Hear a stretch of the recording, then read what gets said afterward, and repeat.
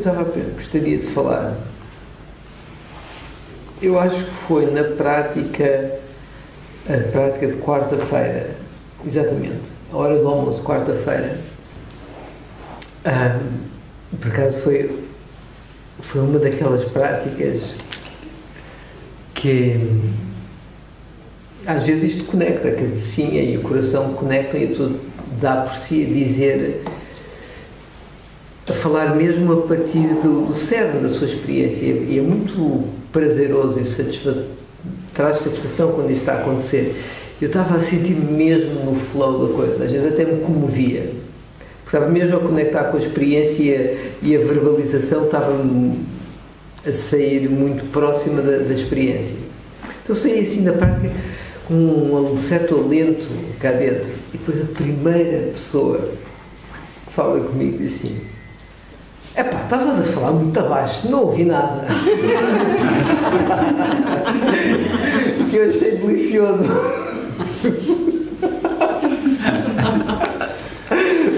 acha que eu orientou uma grande prática que aquilo deve ter sido mesmo bom para os outros. Não ouvi nada. E eu assim, o que estavas para lá a dizer? Estás a falar muito abaixo, não ouvi nada.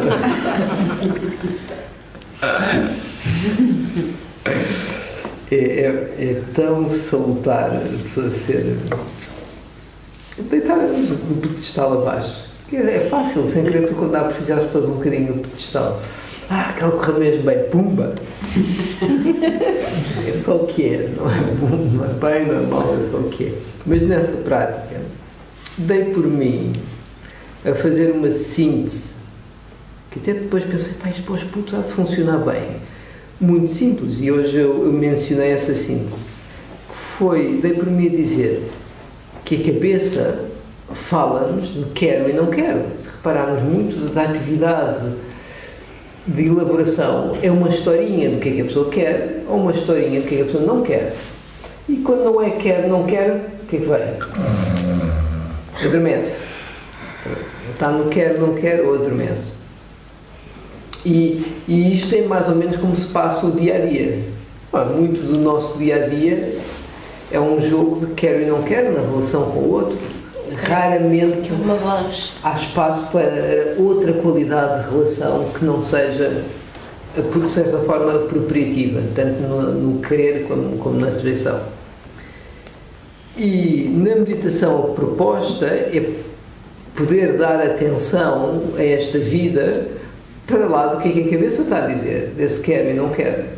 E nisso o corpo é muito útil porque fala-nos daquilo que é. Quando põe a atenção no corpo, o que apreende é a experiência que é, que lá está, que nem sempre é agradável, não sei se já notaram.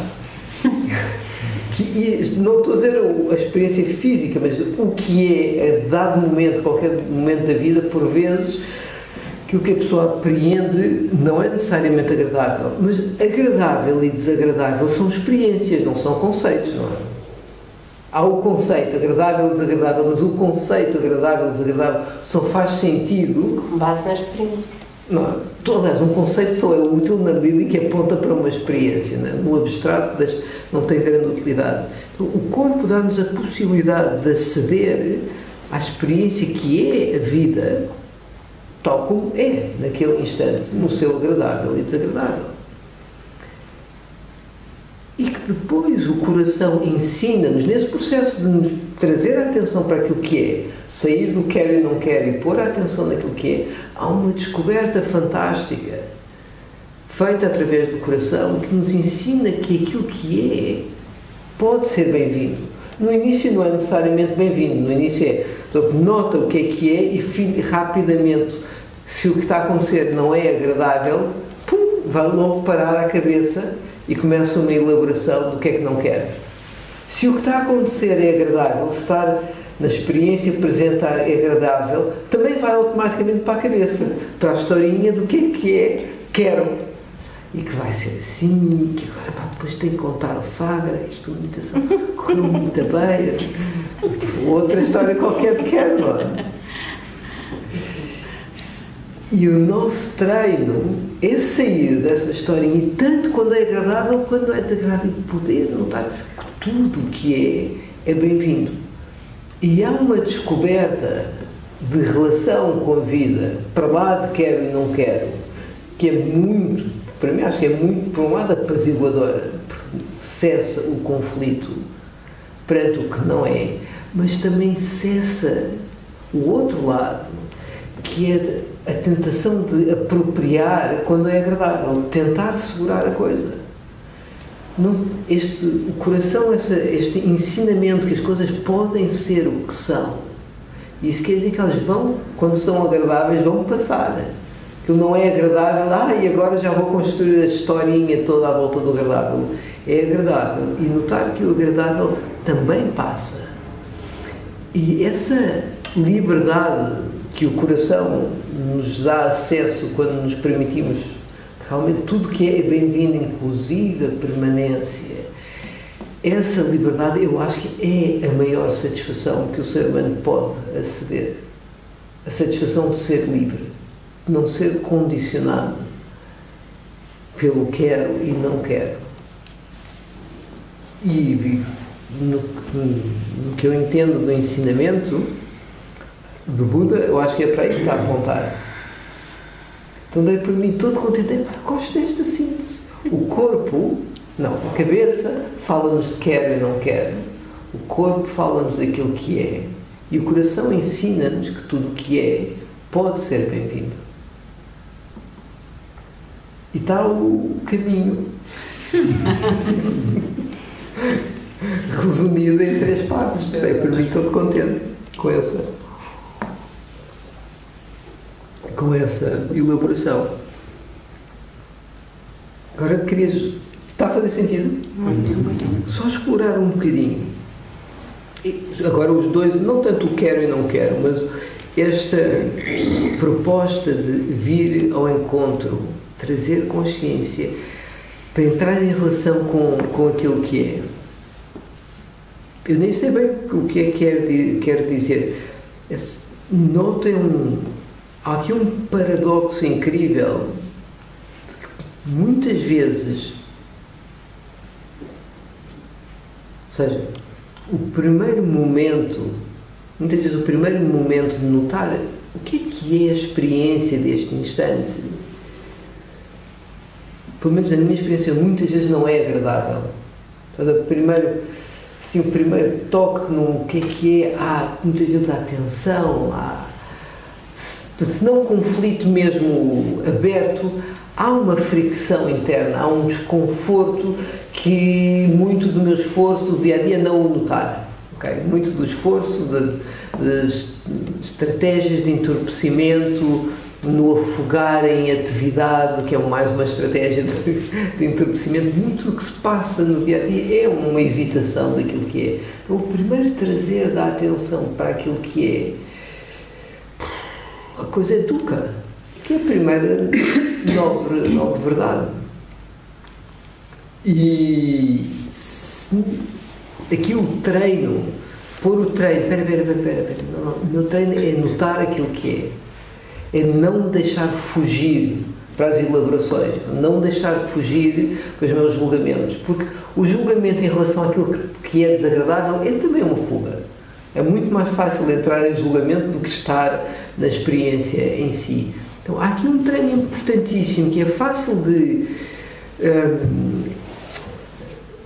diminuir a sua, a sua importância, que é só notar o que é que lá está, já é tão radicalmente diferente do que está a acontecer no dia a dia.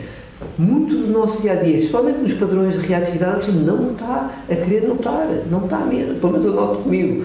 Está na fuga, está na, na fingir que, que não há duca, que não, há, que não está a ser insatisfatório, que aquela estratégia, aquele ramo-ramozinho, aquela embirração que está a ter com aquele e mais a fantasia do quão fantástico vai ser amanhã, tipo, tudo aquilo de alguma maneira está a funcionar e isto está, está tudo a correr bem. E só quando para para notar, peraí, o que é que é? E põe a atenção mesmo aqui, não é? Lá em cima, e nota, começa a notar, uh, certa tensão ali no pescoço e a cara um bocado encrequilhada. Depois o corpo dá um feedback bastante, não sei se notam isso, o corpo dá um feedback, o que é que está para aqui acontecer? Quer dizer, às vezes não se passa nada, a pessoa vem ao corpo, tipo, não está cá ninguém. Também há essa experiência. Aí é a indicação que andou a fugir bué.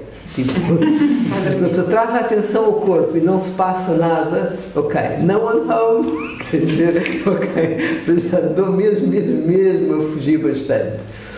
O que não quer dizer que a prática está a correr mal, quer só dizer é que essa conexão não tem realmente sido muito seguro notar aquilo que é.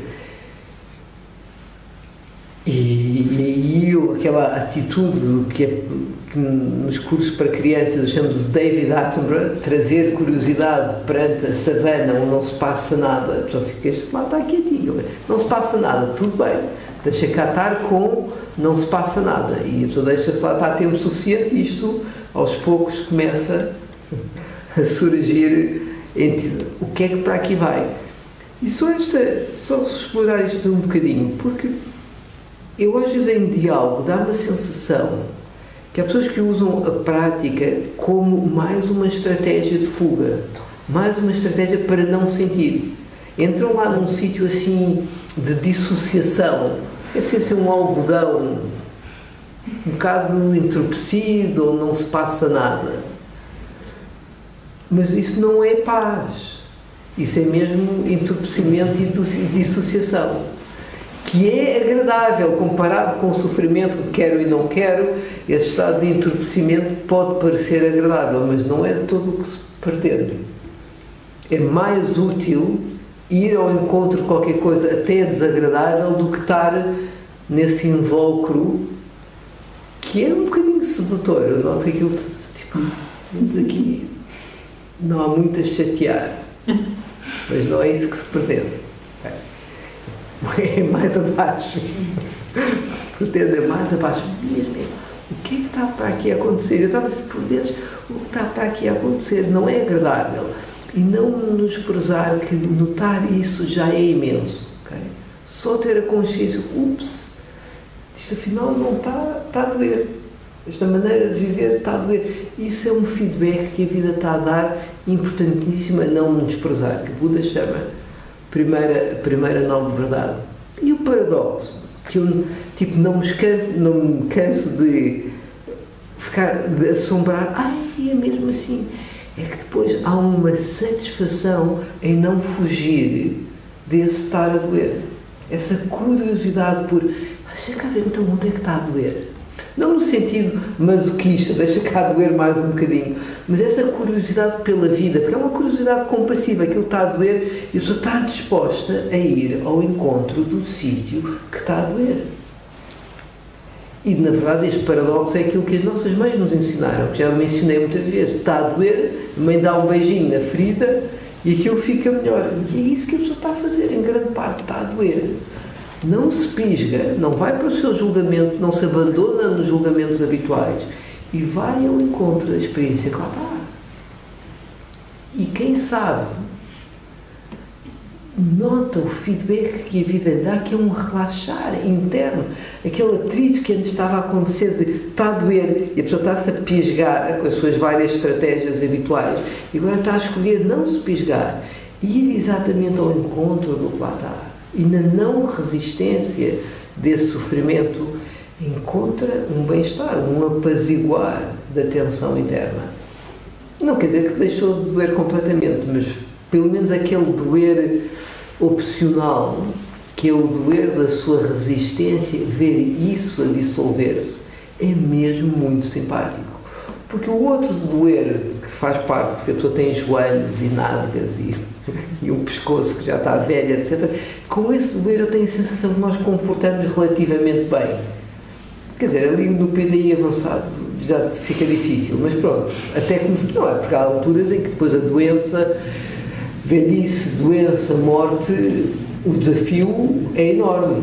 Okay? A pessoa está a doer e está mesmo a doer, mas se formos nos treinando antes de chegar a esse sítio extremo, se calhar quando lá chegar temos muito mais recursos de consciência para poder lidar com esse grande desafio que é velhice, doença e morte, do que ter passado uma vida em fuga e depois aí não há recursos nenhums. Portanto, finalmente é confrontada com essa verdade da impermanência, não faz a mínima ideia como é que lida com aquilo E é chato o último capítulo ser o nosso maior desafio e ser aquilo para o qual estamos menos preparados. Porque o primeiro desafio de nascer é um grande desafio. Mas ainda tem pai, se tiver um bocadinho de sorte, mãe, se tiver um bocadinho de sorte. Esses, se eles ambos não meterem muito o pé na argola, mais a força da natureza e a vida a desabrochar, isto ainda dá para levar. Mas já viram que chegamos ao fim da vida. Normalmente sem pai, sem mãe. Se a coisa tiver corrido na sua ordem natural, se tiver corrido mesmo bem, perdemos pai, entretanto, perdemos mãe, entretanto. Porque eu dizer pai primeiro que eles tendem a morrer primeiro.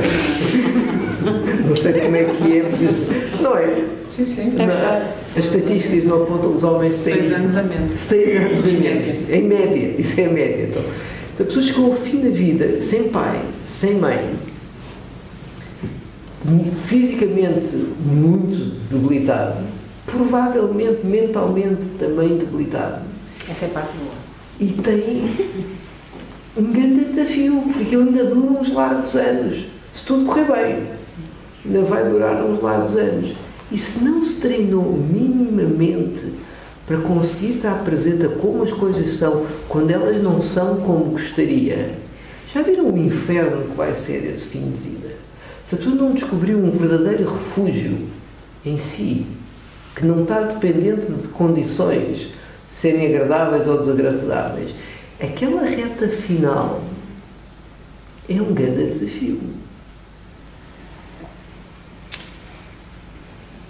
É giro que, por um lado, estamos programados para fugir da dor, mas ao mesmo tempo viemos com os recursos que, quando não fugimos, descobrimos uma liberdade que é muito mais satisfatória e profunda do que qualquer estratégia de ter as coisas à medida dos nossos desejos. Porque a estratégia à medida dos nossos desejos raramente funciona e quando funciona dura muito pouco. Embora a estratégia da capacidade de aceitar as coisas como elas são perdura e não está à mercê, não está tão à mercê da impermanência. Entendem isto? E eu não sei como é que se faz quando se é mais novo e a pessoa está intoxicada com a, com a juventude. Eu não, não, quando tinha 30 anos e menos do que isso, digo envelhecer, adoecer e morrer não fazia parte do meu espectro de motivações para praticar. O Buda farta-se de mencionar isso. E eu lembro-me de refletir, ah, pois é, mas a coisa não toca, não, a fichinha não, não cai. E eu, eu lembro-me perfeitamente das palestras em que parece o Buda mencionar essa intoxicação da, da juventude. E é, por isso eu calculo quando ser mais novo, estava a tentar qual era a motivação? Porquê que eu praticava tão afincadamente?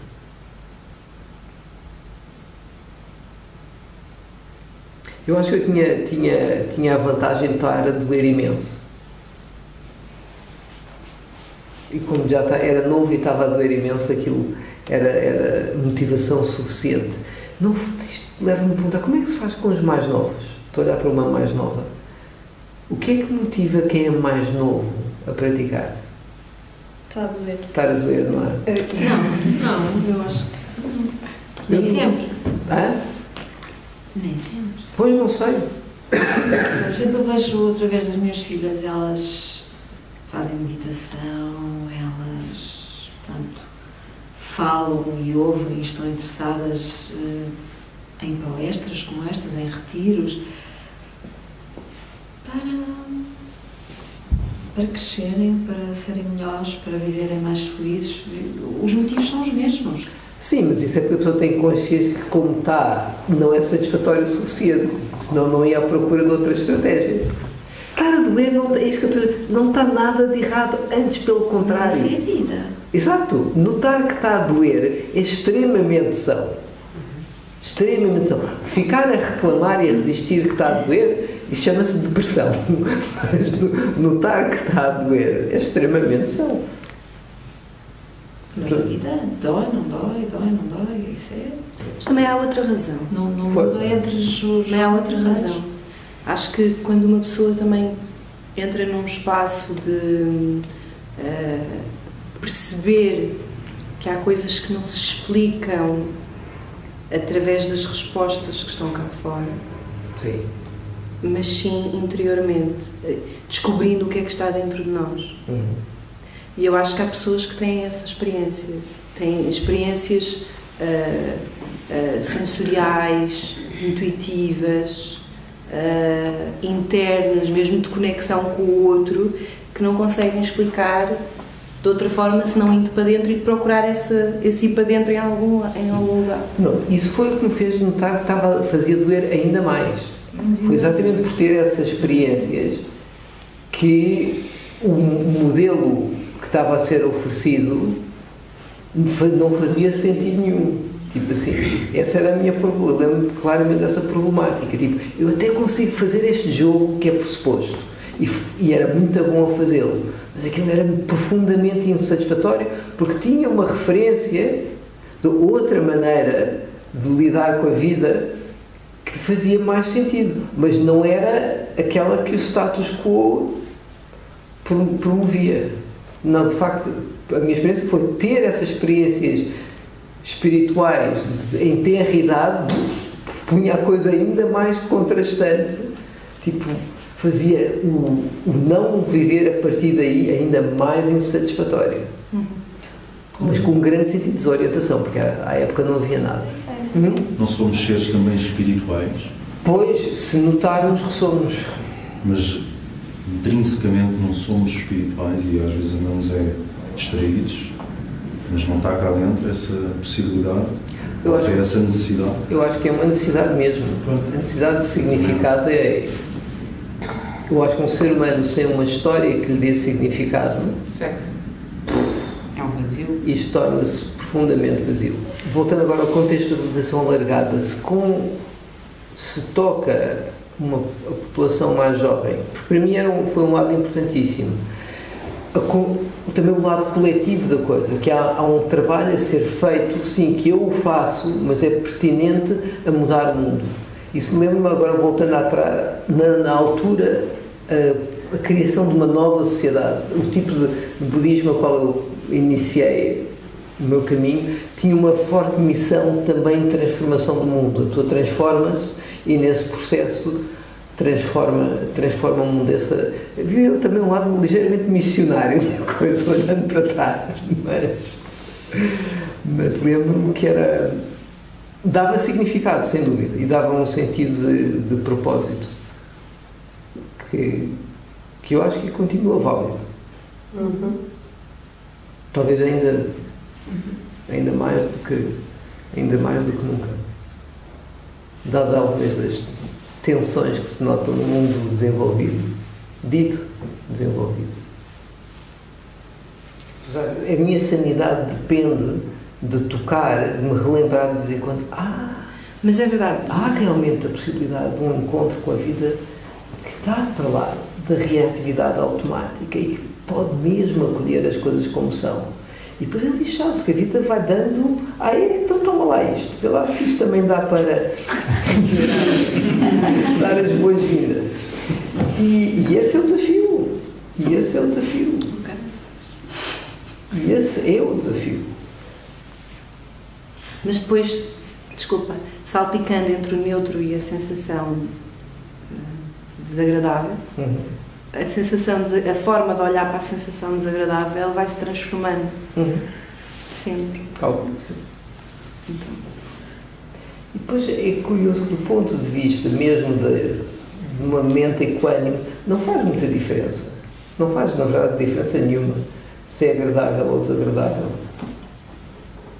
Não faz mesmo. Tipo, para, para a historinha de, de, sabes, de identidade que tenta autodefinir com o que é que gosta, o que é que não gosta, como é que devem ser as coisas, aí o agradável e que as coisas têm que ser como eu quero, não, não, não, as coisas realmente faz toda a diferença se é agradável ou desagradável.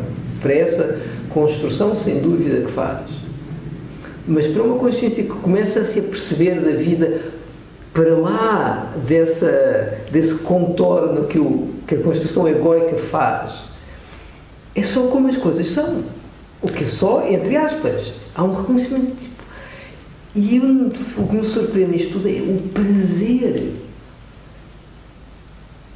Assim, não sensorial, porque não há um prazer igual a de comer um chocolate, de poder permitir, consentir que as coisas possam ser o que são. Que é, é a emancipação, é a liberdade, é o, tipo, o alívio cá dentro. Eu acho que não acho não, o sistema nervoso tipo, relaxa como não conheço mais nada que traga esse tipo de alívio interno. Eu tenho uma questão com relação a essa aceitação.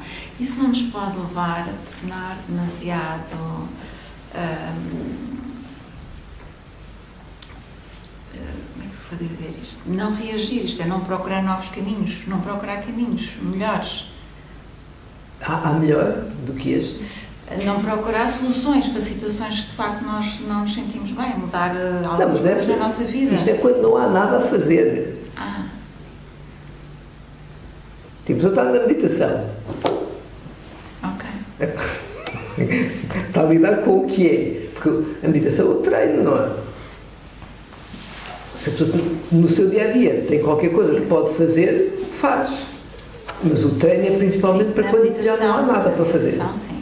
Porque a vida do dia a dia também vai trazer sim. aquelas situações onde não há mesmo nada para fazer. É a única, sim, e isso é um ensinamento, ou seja, é algo, é um treino que depois nos permite nessas, nessas situações, sim. não é? Poder estar. É. Ok, poder estar. Uh, Tens maior tempo de reação. Sim. Sim. E se a pessoa não se facilitou um bocadinho experienciar o quão a possibilidade de criatividade em vez de reatividade perante a porque a aceitação é incrivelmente criativa. A pessoa literalmente transcende-se. A aceitação é um, um ato de transcendência. Então, eu podia ficar dentro da esquadria de como é que as coisas têm que ser e permite-se ir para lá. E as soluções aparecem mais espontaneamente. E... Aliás, as soluções é aí que elas aparecem, porque até então era só um perpetuado do caminho percorrido. As respostas tornam-se, as nossas respostas tornam-se mais assertivas. Sim e acertada. E acertada.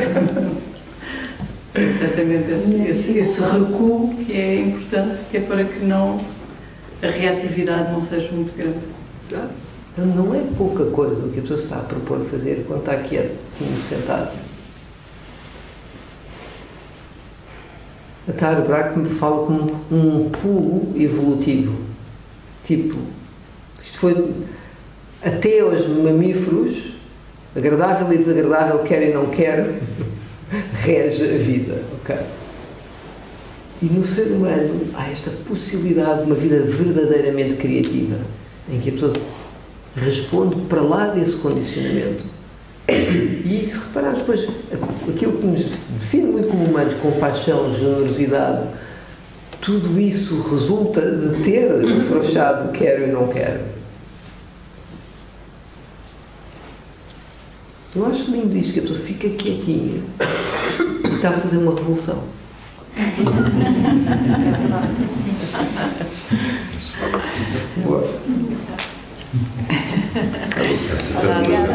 Obrigada.